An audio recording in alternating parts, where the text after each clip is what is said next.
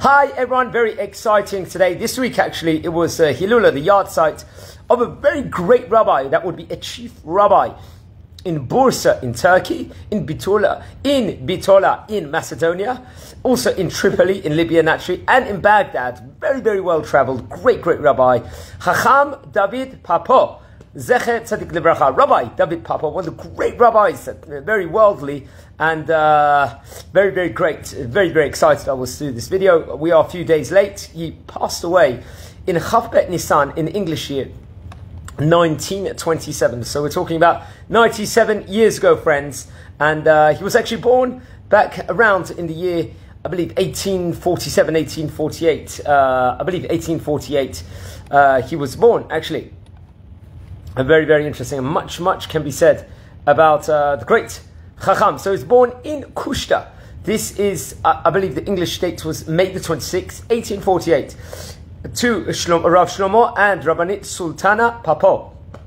And at the age of seven years old, he emigrated with his parents to Eretz Israel, to the land of Israel, respectively. His father was a wealthy merchant and took care of the son's education and learned inside yeshiva in, along the city with a lot of great rabbis, including uh, Rav Yitzchak Ashkenazi, Rabbi Yaakov Meir, also who would become was the first Rishon LeZion and at, of uh, Israel. At the end of his studies, he was authorized to teach by the rabbis of the Sephardic community in Jerusalem, and uh, uh, obviously very very happy over there. Got married, and uh, he made a living also uh, uh, also was able to make a living. And uh, however, there was a fire that occurred in the city, and unfortunately, uh, a lot of his possessions, or most of his possessions, uh, and livelihood was lost. And in year 1893, he moved to live in Tripoli. Tripoli naturally is in Libya, where we talked about different great Libyan chachamim in recent weeks also. And he was appointed to serve as a chief rabbi over there. I think it was a term that lasted around two years and then he moved to live in Bursa uh, afterwards, and uh, which was very very interesting. And uh, he served as the chief rabbi of Bursa. Bursa naturally is in Turkey, which had a very very great, uh, huge huge. Uh, Jewish Torah community also there. I believe he was there for several years also and received from the Ottoman Sultan the letter, a specific letter from the. Remember, there was a lot of dignified positions, uh, honors that were given from the various leaders in the different countries which uh, the great Rabbonim actually served in over there. But he was given a uh, specific uh, honor over there in uh, that specific place from the dignitaries of that specific area. And then after that, uh, in the year 1902, he was appointed to serve as a chief rabbi of Bitola in Macedonia, which also lasted a couple of years. Which was uh, we haven't really spoken about many rabbis that actually got prominent positions in Macedonia, but uh, nonetheless, it was a great, great position. And then at the end of this term, while he served as a chief rabbi there, he actually moved back to Baghdad, to Iraq, where he was appointed to serve as the chief rabbi over there also. And uh, it's actually interesting, he also uh, received from the Turkish Sultan over there a first class badge of honor, which is called a Majidia. And his ministry in Baghdad led to construction of a very, very large Talmud Torah, which uh, also uh, helped do a lot of charity work for a lot of the needy also inside that area. There was problems though while he was in Iraq with the government. Obviously, there was in many many different areas. And uh, after after a specific time time period, he uh, then left Baghdad and uh, journeyed back to Jerusalem. We stopped off in Khalab on the way. And stayed, actually was staying with the great, great Rabbi Chacham Cheskia Shabtai also. And uh, he was so greatly honored. You know, all the dignitaries came up to him, all the great Rabbonim came uh, to him, and uh, and was given the big, big honors. He moved, was well traveled. He moved to Beirut, Lebanon, which also had a Jewish community. And later, later on, I believe in September 1911, he moved to Jerusalem, Yerushalayim Shel Zahav, and was appointed a member of the rabbinical ministry over there.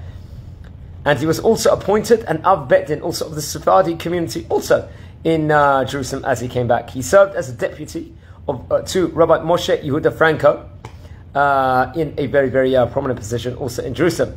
And he was then chose to serve as a member of the Sephardi community uh, uh, committee in Jerusalem, alongside with other different great rabbi, rabbanim, including uh, uh, Chacham Abraham Bijaja, also and Yosef Mordechai Levi, and Rabbi Hanania Gabriel, and also Rabbi Shlomo Laniado, also, and Rabbi Yosef Shaul Elisha, also.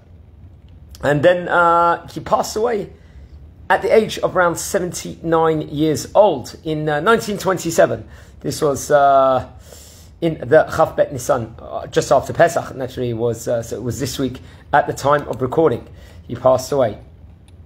Let's look at. He wrote some great, great Torah works. Also a shut, which was the, called the Pnei David, which was uh, I believe printed in Jerusalem. There was a Bnei Meir, which was based on drashot and there was uh, many many different uh, subjects within regards to the community in Baghdad, Torah uh, uh co- concepts over there, and uh, it's actually interesting uh, and other different workings also. Yeah, so he, there was also a lot of different works. He also wrote many ideas also, which he put in, inside sacks of uh, papers uh, in many of the different books he did while he was traveling around. And uh, a lot, a lot of works of colossal Torah works of his uh, hasn't hasn't been traced even to this day. Hasn't been uh, tr- tr- traced to this day, unfortunately, some of his works. But he was one of the great rabbis also. But, uh, there's actually a picture of, I can see, of the Sefer of the Pnei David also. And he was buried in Har Zaitim in Jerusalem also. He was, there's many pic- pictures of the great rabbi also along.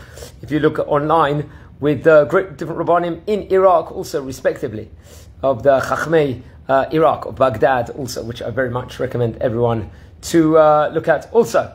So he was well traveled, just to sum up. Uh, he was a great rabbi, a great Dayan. Uh, he also had the position of being a manager of a, a, hospital. Also, this was towards the end of his life, also which I didn't add on before. But this we're talking about a rabbi that was chief rabbi in Turkey, in uh, Macedonia, in Iraq and also in Libya, also very, very well traveled. It was his Ilula this week, Rabbi David Papo, Zecher Tzadik Libracha. Please light candles in his memory this week, learn more about the great rabbi.